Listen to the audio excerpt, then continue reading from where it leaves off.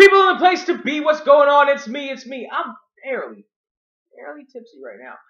Why? Because I woke up late, I didn't eat, and I started to drink. And I've been working out. So my metabolism is fairly up. So uh, it hits me a lot faster. So that's that's where I'm at right now. Uh, we're gonna continue on this Comic Con trip. Uh, I know some people who do usually frequent Comic Con. Uh, they make out like bandits most of the time. Um, I kind of always wanted to go. Like the thing is, now it's such a fucking scene. It's such a mob scene and all other shit. Like it's almost like is it bearable at this point? Like it's almost too too much. It's almost entirely too much of a scene.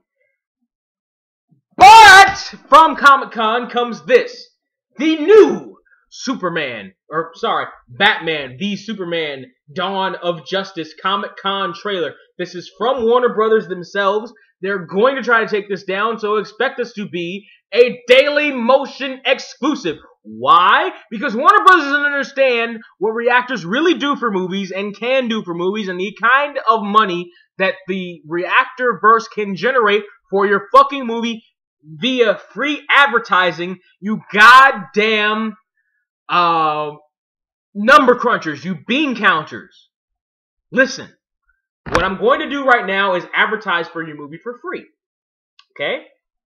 So don't try to come after my video and shut it down because you'll just look petty then. Alright? So here we go.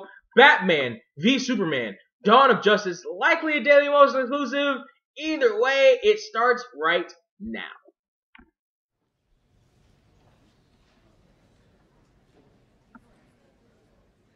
Today is a day for truth.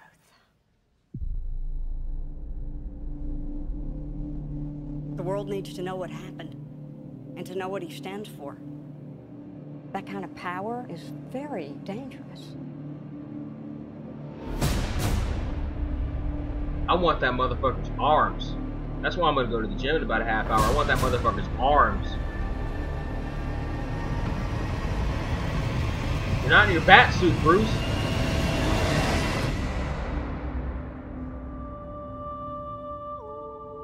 Let the record show that this committee holds him responsible.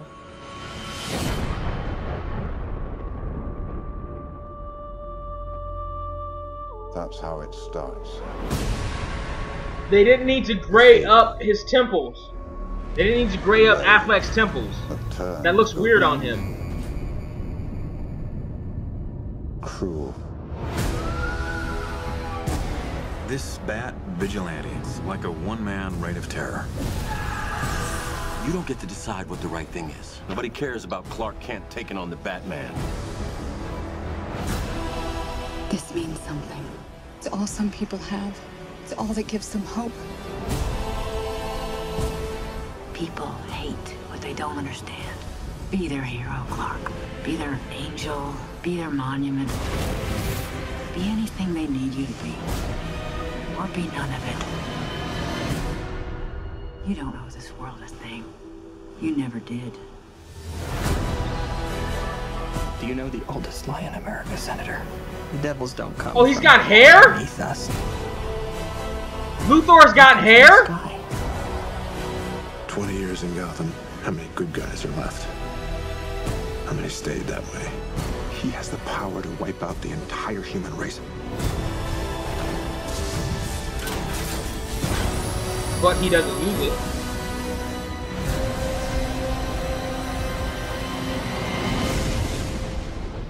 And we have to destroy him. I don't know how I feel about that suit.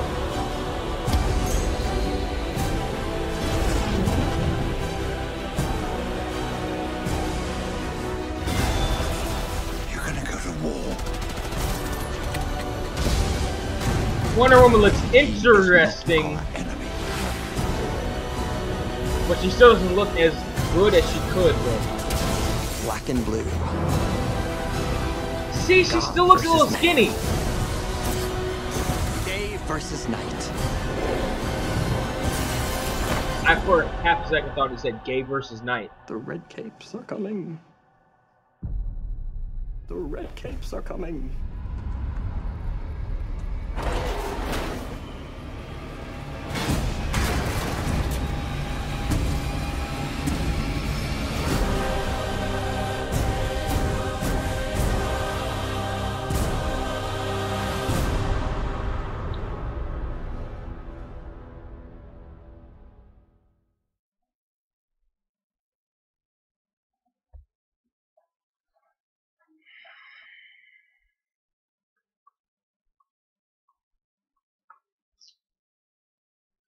See, now I'm not so sure.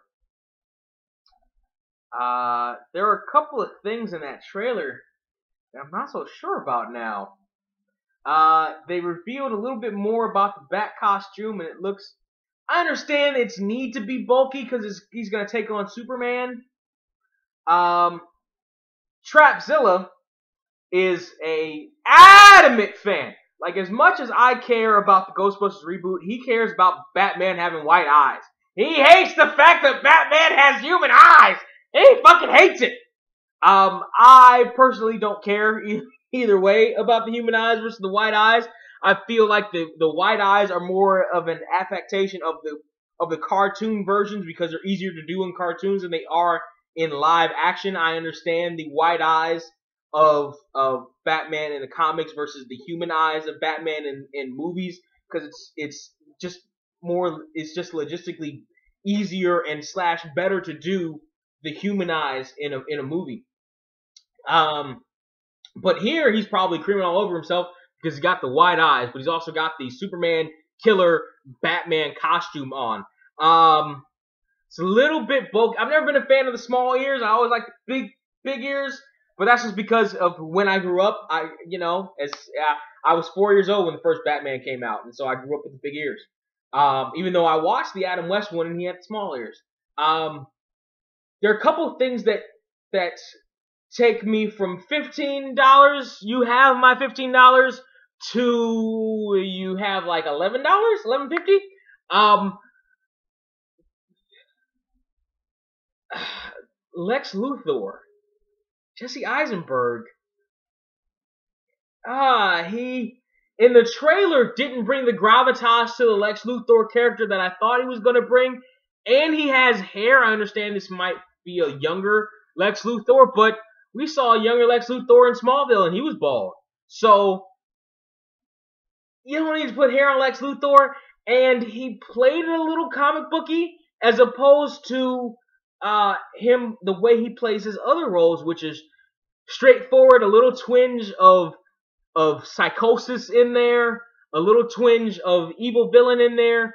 Uh, I saw him going a little bit. He went. He there was okay. So here's a sweet spot. Here's total cheese where you should embrace where he just totally embraces the cheese and he's like right in the middle he's he's like right in the middle. Like he he's right in the middle. Like he's not where he normally is, which is you know where a lot of us like him, and is not in the total cheese area where we can kind of get on board with it because he's just embracing the cheese of the moment. He's right in the middle, and I don't know how I feel about that. Uh, I don't know how I feel about the Bruce Wayne um, putting the gray highlights in his hair. I don't understand. I, I, again, I'm I'm comic conversational. I'm not fluent, so I don't know if in the comics, in the in the original text, if Bruce Wayne is a little bit older, is a little bit near the end of his run as Batman. Um, so he would have the gray temples, but they don't seem to fit Affleck. They don't seem to fit Affleck really all that well because his face is still too young for the gray temples. So they kind of need to either put him in makeup to make him look older, which would probably not be the right idea, or just do away with the gray temples, or do away with as much of gray in the temples. Maybe a little twinge, maybe a little bit, uh, but not as much as they did. Like it just doesn't seem to fit.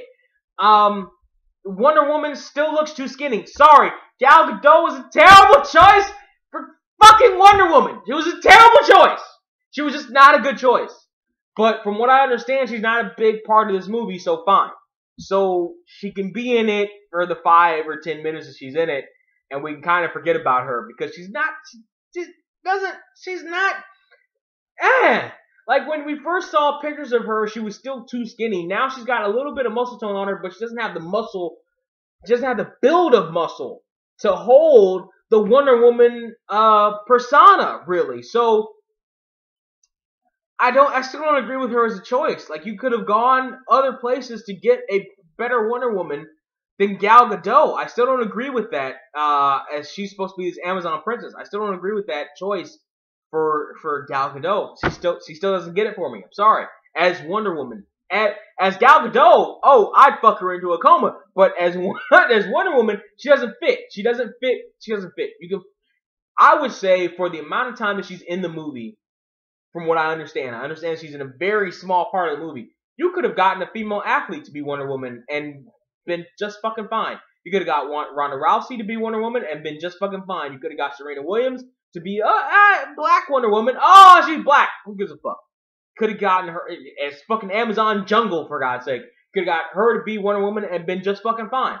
But you went with Gal Gadot and she she for the amount of time that she spent in the gym and all that stuff that she tried to put out there, she still doesn't fit. I'm sorry. She just didn't get the mass on that she needed fast enough to be a to be a, a believable Wonder Woman. So I'm out as far as Gal Gadot is concerned. So you got what did I say? 1150?